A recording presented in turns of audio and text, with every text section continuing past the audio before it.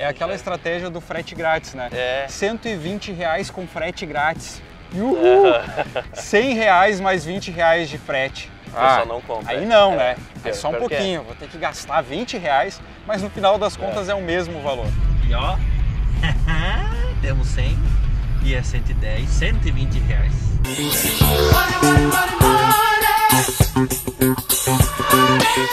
Fala Samuel, para te inspirar eu vou te mostrar as minhas metas pessoais aqui que eu tenho em formato de imagem, aonde eu coloco num lugar de fácil visualização aqui e eu olho para ela todos os dias. Olha só. Quando eu abro a porta do meu guarda-roupa, o que, que eu tenho? Já de cara a data de quando eu quero atingir cada uma dessas metas. Nesse caso aqui, é antes de eu completar 31 anos, até 12 de janeiro de 2020. E aí, quais são as tuas? Envia para mim. Eu botei a princípio sete, sete metas. Aqui eu botei que até 7 de 2020 eu quero quitar algumas dívidas, uma, umas coisinhas, né, que tem por aí. Aqui eu não botei data, porque daí eu quero mais ou menos nesse mesmo período, assim, por isso que eu não botei data. Então eu quero. Significa que eu quero investir, investir em alguma coisa. Aqui embaixo eu botei a manutenção da casa. Não botei data porque tá em andamento, né? Aqui é uma coisinha que eu preciso perder, né? É uns quilinhos, coisa pouca. Aqui tá a meta da viagem, né? A viagem dos sonhos com a mulher, que é pra Orlando. Então eu botei o símbolo aqui de um dos parques de Orlando. E a meta em outubro de 2020 completar isso aqui, né? Muito importante. Então eu tenho sete metas de início. Se eu criar mais, eu vou enviando. Mas já dá pra começar. Estamos aqui reunidos para um avanço né, no nosso programa de desafios aqui. Eu quero comentar contigo algumas coisas que eu notei quando eu recebi o teu vídeo mostrando as metas. Então teve algumas metas aqui que tu foi bem específico quando tu falou sobre a casa própria e aquela imagem ali remete bem a isso, né? As chaves da casa própria com uma data específica. Mas com relação ao peso, tu só tem uma imagem representativa ali. Faltou, assim como nas demais, o quanto tu quer perder de peso. O que seria ideal para ti perder de peso? Tu se sentiria bem contigo mesmo? Em data ou em números? Em números. Me dê números. No 15? Uns 15. É. Então aqui tu pode ser mais específico e colocar 15. Por que tá rindo, Samuel? Não. 15 em quanto tempo? Que é uma meta desafiadora, mas ao mesmo tempo alcançável. Acho que uns seis meses. Seis meses, tu vê que dá, mas é desafiadora, faltou a data Sim. e o peso. Sempre que a gente for estabelecer metas, tem que ser específico no prazo e na quantidade, quantificar isso. Teve um encontro anterior que a gente falou sobre metas e a gente falou sobre independência financeira, sobre um prazo, e tu falou até ano que vem, né? Eu fiquei assim, poxa, que ambicioso, ousado, né?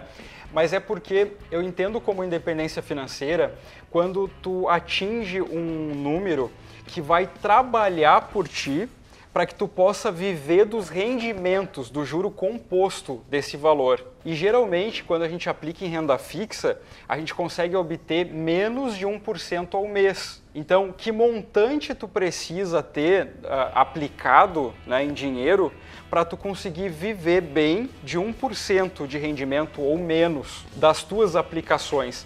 para atingir a liberdade financeira no sentido de trabalhar apenas por opção, porque daquele rendimento dos teus investimentos é que tu vai trazer o teu sustento. Entendendo um pouco mais esse conceito da liberdade financeira, tu possa rever isso, Sim. porque é um número bem alto para te conseguir viver desses juros. Então vamos ser mais específicos aqui nessas metas.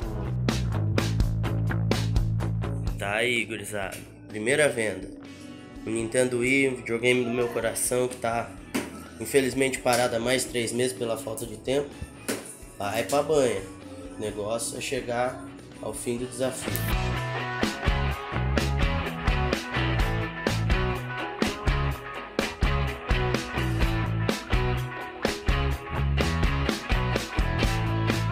Nesse final de semana eu conversei com meus parentes, com a minha mãe, e ela me doou umas coisas pra mim postar pra levantar o dinheiro. Ela disse que esse liquidificador ela não tava usando, daí não sei se eu acho que ela vai comprar outro, e daí me doou pra mim poder levantar os mil reais.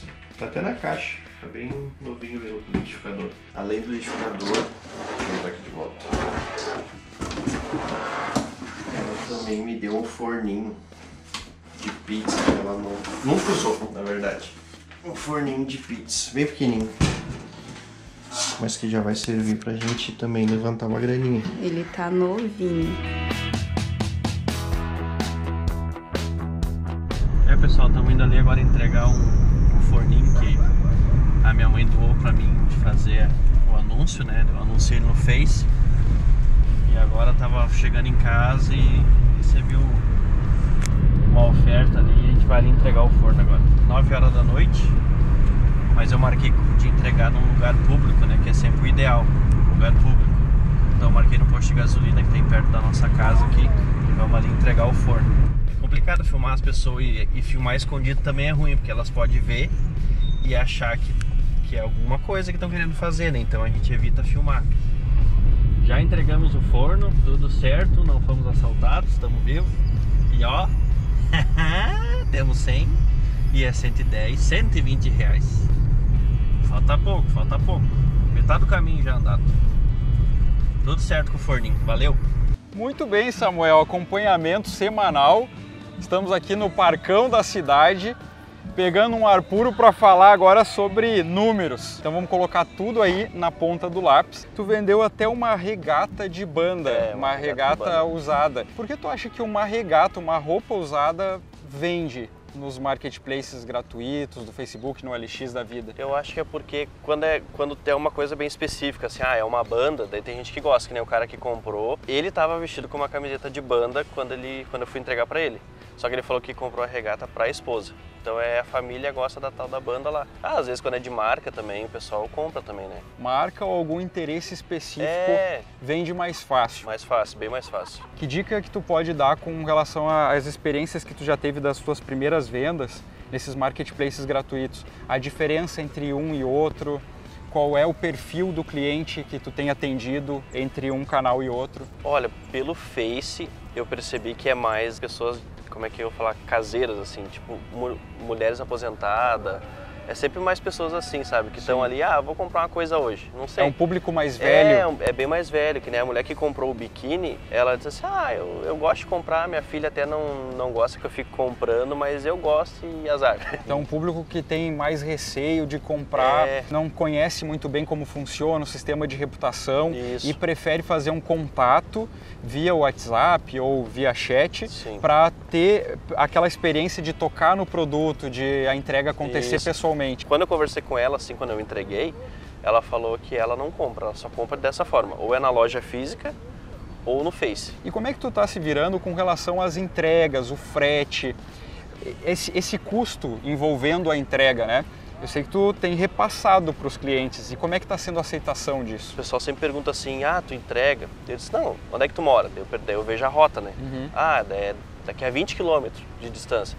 Disse, olha, eu posso te entregar, mas eu vou te cobrar uma taxinha de 10 reais Sim. pra, sei lá, desbancar a gasolina. Quando é então dentro da tua rota, cobra um É. valor menor, mas acaba repassando sempre esse custo Sempre o custo. da gasolina, do, do teu É. combustível Ou até as- lá, ou ou as- de, de algum transporte público, se a pessoa não tem um carro, né? Pode É. utilizar ônibus ou um Uber para fazer essas entregas, mas sempre repassando o valor. É, ou às vezes também no forno eu encaixei o valor no forno. É aquela estratégia do frete grátis, né? É. 120 reais com frete grátis. Uhul! 100 reais mais 20 reais de frete. O pessoal não compra, Aí é. não, É, né? É pior- só um é. pouquinho, vou ter que gastar 20 reais, mas no final das contas é, o mesmo valor. Mas pelo que tu falou, tem alguns ajustes aí que a gente ainda pode fazer para chegar mais rápido nesse resultado. Vamos dar uma volta. Vamos. Então essa é a hora de colocar tudo na ponta do lápis. Como é que tá os teus resultados? O que, que tu já vendeu até agora? O quanto que falta para chegar na primeira meta dos mil reais? Então a gente já está registrando lá todas as tuas vendas, né? Inclusive essa planilha eu vou disponibilizar lá para o pessoal que tem nos acompanhado no grupo do Telegram. O pessoal está bem participativo lá, né? E está inclusive já postando os resultados, está bem bacana. Então lá no Telegram tem informações privilegiadas para conseguir fazer o acompanhamento passo a passo desse programa, desse desafio. Então vamos lá. Tu já vendeu até agora uma furadeira, uma torradeira, um biquíni, um mini forno e uma regata. Isso. Né? Então, nessa sequência ali de valores 80, 50, 100, 129, 25, totalizando 384 reais em vendas. Isso significa que ainda faltam 616 reais para bater a meta dos mil. Sim. Então, que ajustes nós precisamos fazer para tu atingir de uma vez essa primeira meta, que o objetivo, né, relembrando, é reunir o valor de capital inicial para a gente começar um negócio online e faturar até do zero aos 10 mil reais em oito semanas. Por isso, né, 0, 10 em 8. Por isso as camisetas aqui, para marcar bem o compromisso do desafio. Então, para a gente atingir os 616 que faltam, outras coisas precisam estar anunciadas né, para essas vendas acontecerem. A gente planilhou também aqui algumas outras coisas que tu tem anunciado, mas ainda não vendeu. São elas um grill no valor de 119, um liquidificador por 77, uma cafeteira no valor de 59, uma impressora no valor de 129 reais e uma Dolce Gusto que tu também colocou à venda por 200 reais e um sapato por 75. Como é que tu fez para precificar esses produtos? Primeiro eu olhei quanto é que vale um novo, né? Que é, Ótimo, é, ótima coisa, referência. É, porque que nem a, a cafeteira, é uma cafeteira pequenininha. Uhum. Então eu não poderia botar ela como por 100 reais. Então eu olhei, pá, quanto é que tá uma nova? Ah, ela tá 120. Então, como a gente sabe, né, não é nova, eu botei pela metade do preço. Porque na internet estava variando, tipo, entre 90, 100, 120. Sim. Então, bah, perto de 90 reais, sem chance de colocar, né? Porque é nova.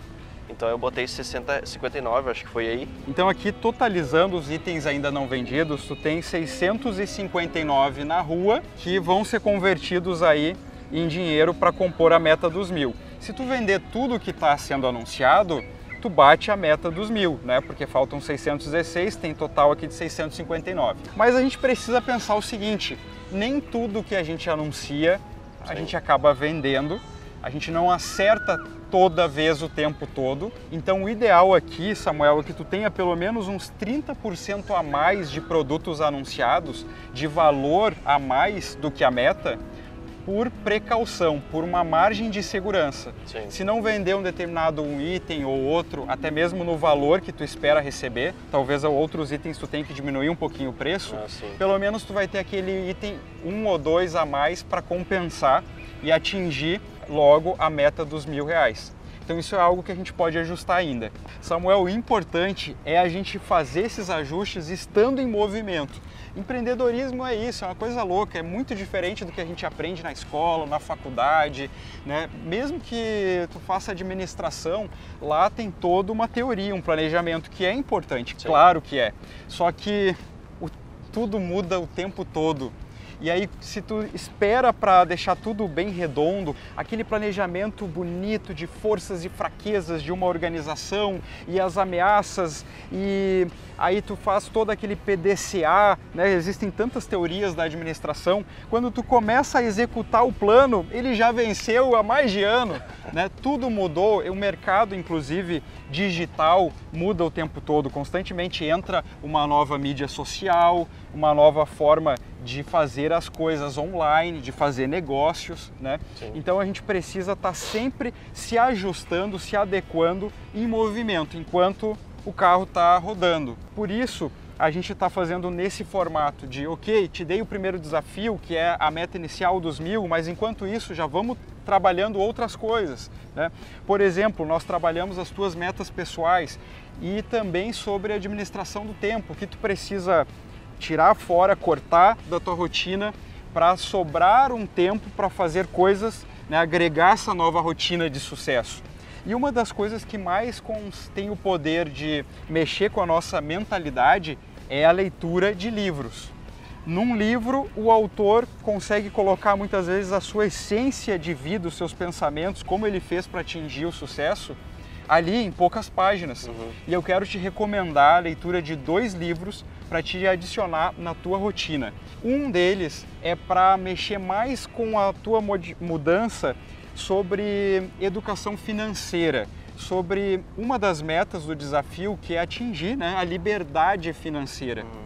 E para te ter mais clareza sobre isso e quebrar vários paradigmas que a gente tem, que aprende dos próprios pais, né? De que só se tem dinheiro, por exemplo, com muito suor do trabalho.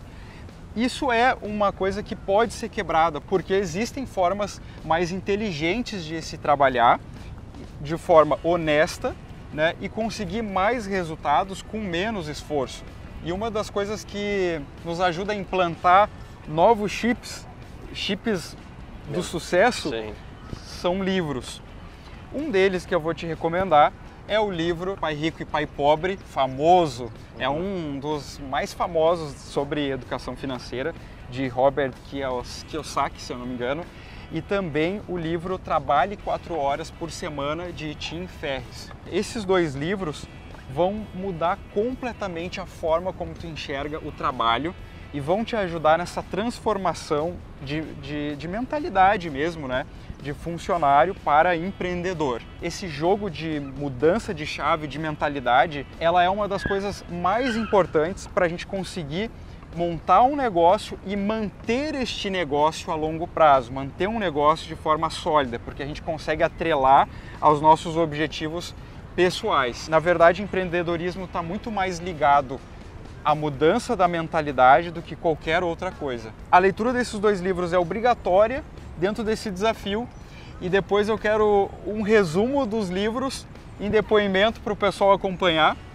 Todo mundo está convidado a fazer a leitura para incluir dentro da tua rotina e até tu conseguir aproveitar o tempo de deslocamento do teu trabalho, tu pode procurar na versão audiobook desses livros e aí depois fazer o resumo igual para nós aqui, para todos nós que estamos te acompanhando. Valendo nota. E qual é o recado que tu tem para o pessoal que não mexeu uma palha ainda para fazer o negócio acontecer? tem que dar o pontapé, né? A gente tem que andar. Porque se a gente ficar deixando para amanhã, é que nem quando a gente fala assim, pai, esse ano passou rápido, né? Daí tu vê se já passou mais um ano e tu não fez nada. E esperar começar a fazer alguma coisa, a começar esse negócio, talvez até aproveitar essa oportunidade de entrar com a gente nesse desafio gratuito, disponível É. para o Brasil inteiro, esperar juntar dinheiro ou sobrar dinheiro é a mesma coisa que esperar entrar em forma para começar uma academia, para É. começar a fazer atividade física. Ou lembrar Né? assim, bah, é novembro, eu tenho que ir pra academia. Exato. Em dezembro eu vou pra praia. Tu sabe que não vai dar resultado. o fato de não ter dinheiro sobrando ou estar insatisfeito com a vida que tem hoje deveria ser o maior motivo, a maior motivação das pessoas para entrar de cabeça num desafio como esse. Então por isso eu te convido a se inscrever agora no canal. Clica aqui embaixo, se inscreve, nos acompanha, porque toda semana tem um novo desafio para o Samuel e para você em casa.